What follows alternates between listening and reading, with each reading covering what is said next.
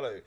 This time the idea is to show you how we can take uh, a standard piece of string of text we're going to uh, modify by adding uh, a script onto the end of that um, to make it display some information that it's not designed to do. Now in order to do that we need to intercept the traffic uh, and add a particular script onto the end of it. So a normal piece of traffic that you could intercept.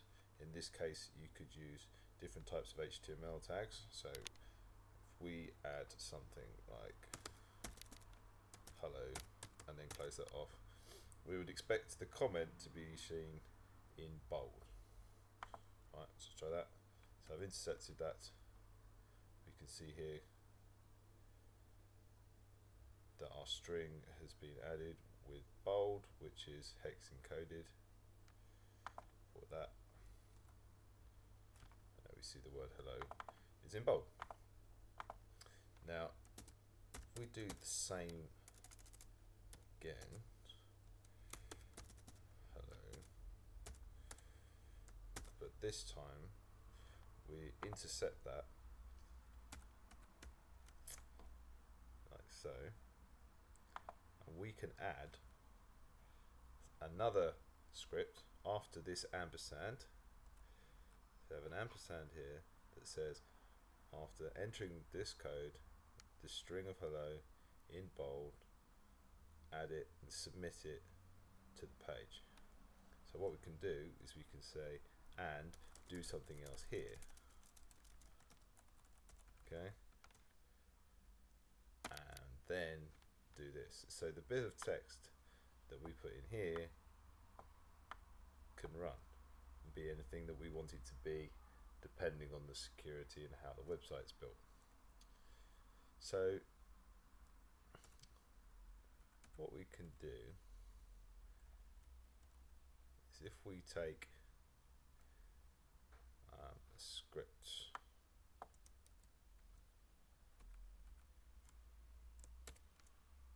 this.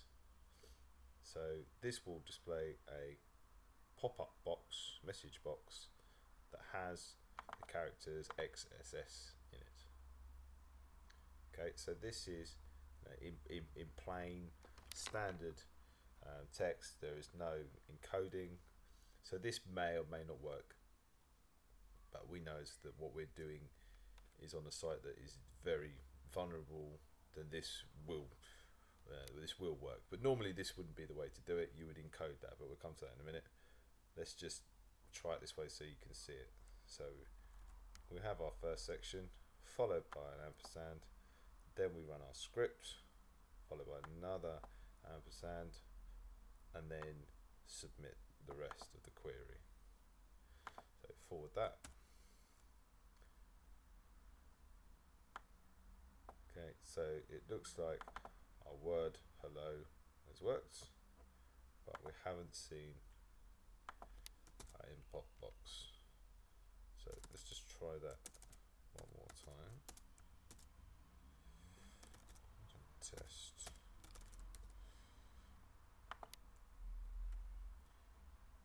Okay.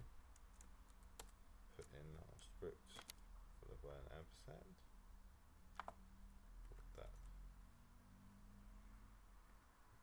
Doesn't seem to be working. Okay, we'll do the same thing, but put it the other way around and see if that works. Tests. Put it at the start of the query instead of the end.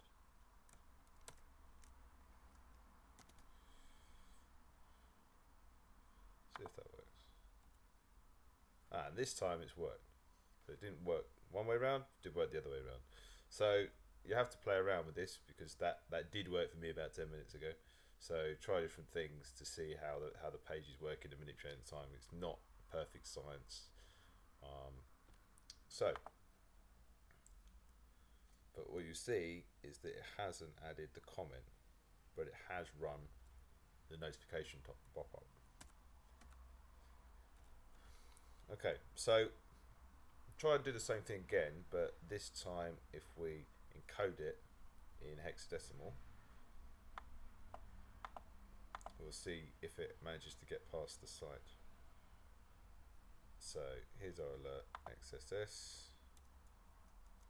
Change it to YouTube or something else if we like. And now we have exactly the same thing but encoded.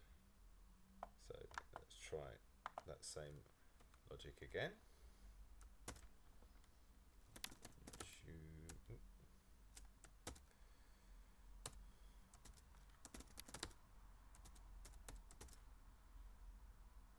Save that. Come over here.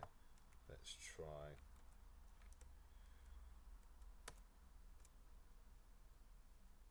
putting in our hex encoded version, ampersand for that. And there we go. That has worked from an encoded format. And that is the message from before that's displaying. Okay, let's try that again, but this time after the string of YouTube see if this time it works. Intercept the traffic. After the ampersand. Put in. Uncoded hex followed by another ampersand. Forward that. And this time it worked. So here we go. So there is different ways of achieving inputting your own hexadecimal based encoded string that are more likely to bypass um, any form of intrusion detection uh, that's on the page. As you can see here that this CSRF protection information that it didn't validate it. No validation was performed post running it so therefore we could do what we like. If it did try and validate it then our hex encoded version should theoretically still work anyway. So the different methods to try.